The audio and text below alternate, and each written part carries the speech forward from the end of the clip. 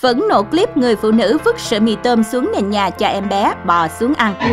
Mới đây, cộng đồng mạng vô cùng bức xúc trước đoạn clip quay lại cảnh người mẹ đang ăn mì tôm rồi sau đó thản nhiên vứt sợi mì xuống nền nhà cho em bé bò ăn. Thậm chí nhiều người còn bình luận cho rằng đấy chắc là con của ai chứ không phải con của người phụ nữ này. Theo như đoạn video đang được lan truyền trên mạng cho thấy, một người được cho là mẹ đang cầm trên tay một bát mì tôm, bên cạnh là em bé đang bò chơi dưới nền nhà.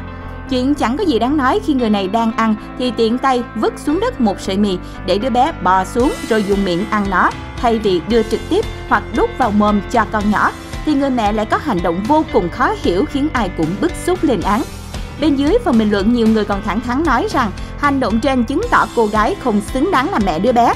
Thậm chí việc vứt xuống nền nhà rồi bắt con trẻ bò ăn trông không khác gì đang cho động vật ăn, chưa nói đến đây chính là con đẻ của mình. Đáng suy nghĩ hơn là việc làm này của người mẹ có được lặp đi lặp lại hàng ngày hay không và đứa bé ấy có được đối xử một cách tử tế hay không vẫn đang là một dấu hỏi lớn.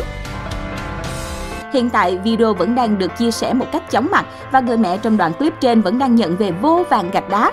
Còn theo bạn, bạn có suy nghĩ như thế nào về hành động trên? Hãy comment xuống bên dưới cho chúng mình cùng biết nhé!